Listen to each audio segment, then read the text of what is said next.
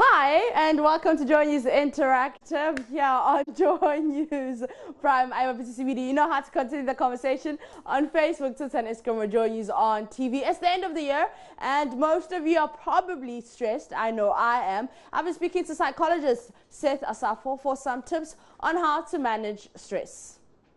Uh, stress has a way of uh, um, affecting us very differently because we obviously have very different coping strategies but generally stress is something it, it, has to do with the way our body gears up to meet the daily demands of life essentially that's what it is. Mm-hmm. now it, you see the the interesting bit of stress is that stress is actually really good because it, it puts us or kicks us into high gear to be able to meet um, the various demands like for example finishing an assignment or uh, getting through with planning for a marriage and all of that however the problem has to do with long periods of stress mm-hmm.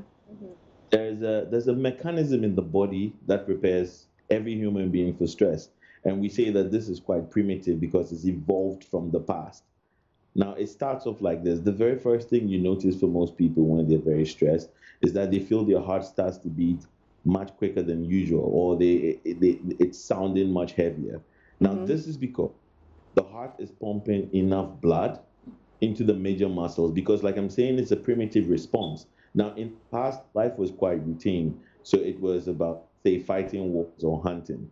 And so the body needed to go into that, what we call a fight or flight mode mm-hmm. to, or you had the resources to face the threat. Now, think about it this way if I were fighting a lion, of course, I can't fight a lion, but if I were, if I were a lion, yeah, okay, I, I should finish with the lion in about 10 minutes, or the lion would have finished with me. So the stress response works very quickly and it's supposed to work for a very short period of time.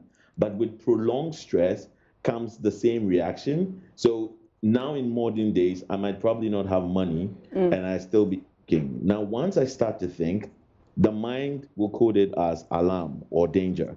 So once that danger response comes up, the body will pre- present you or will provide you with the same resources yeah. that it would provided if you were in an actual danger situation. Now, can we identify stress as a mental illness? Would that be correct? To some extent. Mm-hmm. To some extent, yes.